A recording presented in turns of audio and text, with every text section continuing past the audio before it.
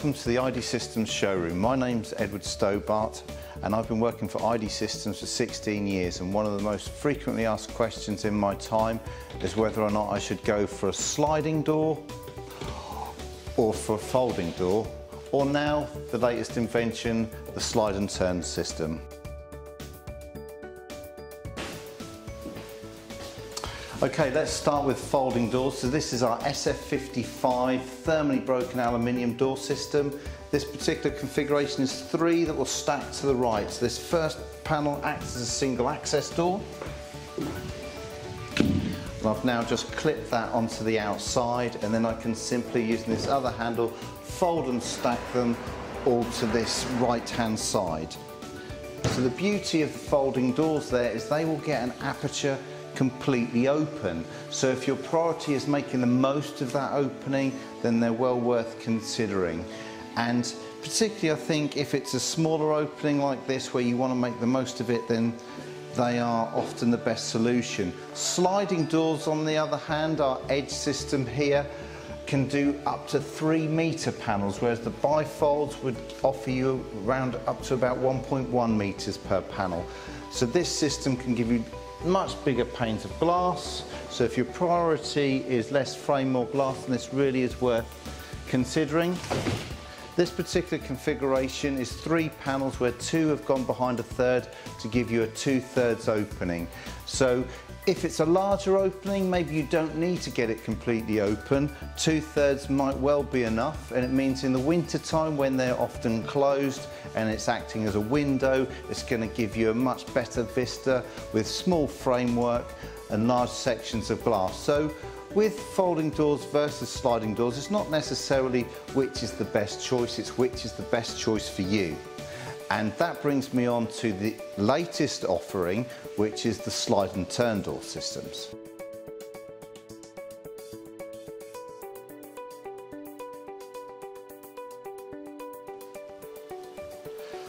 The slide and turn doors really do have a foot in both camps. They offer these very slim sight lines that you would associate with sliding doors. Um, but get it completely open like a bifold. So maybe if you're torn between the advantage of the sliding doors and folding doors, the slide and turn door might well be the solution for you. So as I say, it'll get it completely open. So each panel is individual and will stack to the same side.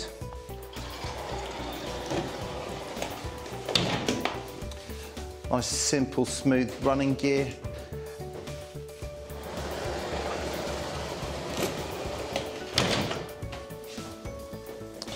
So, nice neat stack of doors at one end. The slide and turn doors, one advantage they have over the other two systems is the versatility, because it might be the fact that you don't want to completely open your doors. You might just want to get some air into the room. So what you can do is open up one panel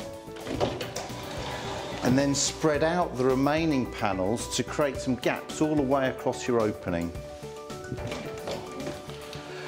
just like so. So most people want a level threshold from inside to outside, so that means that when the system is installed and the project completed, your internal floor level and your external ground level and your track are all at the same height, giving you a lovely appearance, avoiding a trip hazard, and also giving you Part M compliance for wheelchair use. And it's the look that generally most people see on in brochures and on television programs. So what are the things to look out for? So one of the most important things is knowing what the depth of the track is because your builder needs to build your base work in relation to your floor level at the correct height so you've got enough distance to accommodate the track. So it's not just an, enough to say, rightio, I want a flush track. It's knowing the person knowing who's building it, what the depth of the particular track you've chosen is.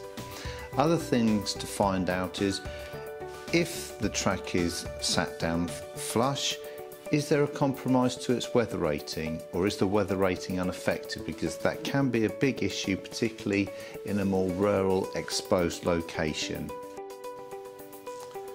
We find that most people are aware of U values and most people are aware that it's the lower the U value the better. So typically building regulations are after a door that has an overall U value of 1.8 so the lower the better and um, our Vistaline slide and turn door system, for example, comes in with an overall U value of 1.1, being triple glazed as standard and having a very large thermal break from front to back. Weather ratings are concerned with how well the system seals, both from a water penetration point of view and an air leakage point of view. And U values do not look at this, so we do see weather ratings as important as U value. So do find out what the weather rating is of the particular system you're buying and don't be fobbed off with, yes, it's weather rated. Well, what does that mean? We, you need to see third party certification stating the actual performance of these door systems or window systems from a weathering point of view. The pressure tests are measured in pascals. To give you an example, 300 pascals is the equivalent of a 50 mile per hour wind. So I think you, you should at least be looking for a system at 300 pascals or in excess of that because most people will suffer a 50 mile per hour wind if not more depending on their particular location but obviously if you're an extremely exposed coastal location where you'll suffer winds far in excess of 50 miles per hour, then obviously you need a system that can perform to a much higher Pascal rating.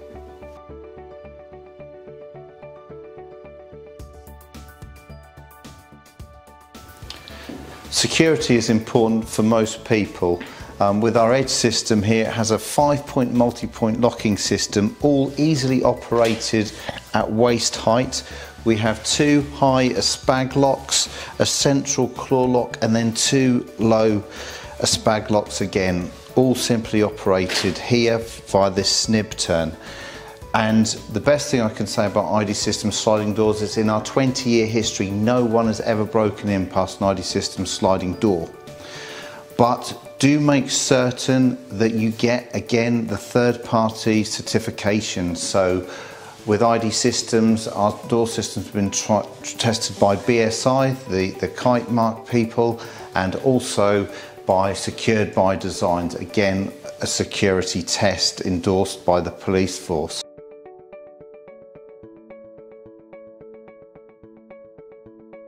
So obviously one of the biggest parts of this investment in these door systems that you're looking at is the glass itself, which obviously dominates the area of these doors.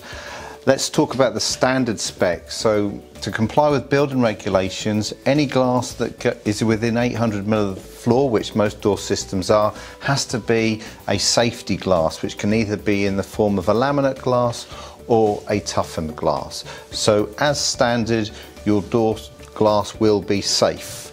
So laminate glass, if broken like windscreen glass, will stay in place and toughened glass, if broken, will break into very safe pieces, so no, no shards um, to hurt people with. The other thing that will be a standard is thermally efficient. We have one of the most strictest building regulations in the world when it comes to thermal efficiency. So all the glass will be a standard low E, which is a low emissivity coating, also known as soft coat, um, and that's designed to retain the heat that you create and keep it inside your living space.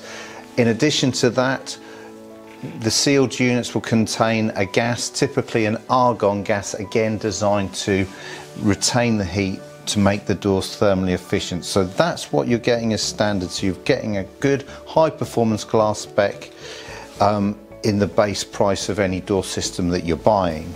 One of the biggest upgrades we do on our glass is solar control glass. So if you've got a large area of glass, particularly if you're south facing, then what you don't want to happen is the room getting too warm. So you, you can now buy glass that reduces solar gain and it doesn't necessarily have to be tinted. So the vast majority of solar control glass we do is what's referred to as neutral and that's because it still maintains a very similar look to normal glass so it's not like looking through sunglasses, it still lets plenty of light through.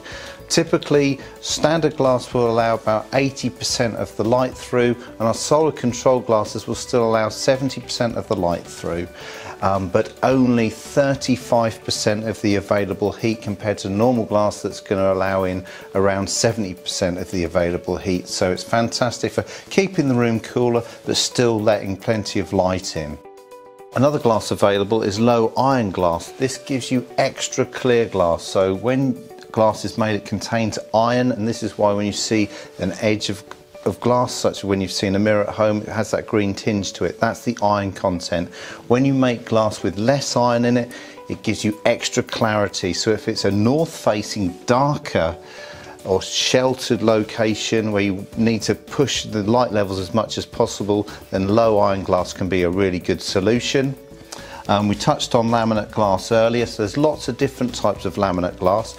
So one thing to look out for if you are doing a complete new build or material change of use build, such as a barn conversion, all the easily accessible areas such as your ground floor locations and anything else that's easy to get to on a first floor such as having a flat roof garage outside an upstairs window needs to contain security laminate glass to comply with the latest building regulation which is part Q.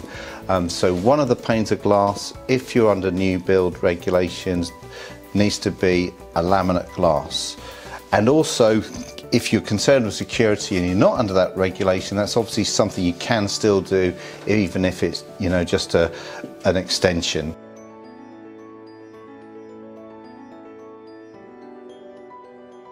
And finally, the ordering process. So there's two ways you can order these systems. You can either manufacture the doors to an agreed size. So you, usually via your builder or architect, tell the likes of ID Systems the width and the height of the openings that they're going into. Or once you've built the openings, a surveyor can come out and measure up those openings. So what are the advantages of both? So with the making to an agreed size, it means you can start the process as soon as you can give us those sizes. So rather than having to wait for the opening to be there and have it measured, as soon as you know your size, you can get things underway. So that will often come down to the confidence of your builder. Now we think most builders should be able to build a square opening to a certain size, but, but it, what it will come down to is whether they're confident enough to tell you the sizes or your architect is. So that's an offering which is the quickest in time. It's not something we'd recommend when you've got angles such as triangle shaped gables or curves in your design, that's when you definitely want a survey, um, but it's certainly the quickest method. And the other more traditional method is once you've built the openings, a surveyor can come out. So the advantage of that is the surveyor will take responsibility of those sizes so that um, side of things is, is taken off your shoulders.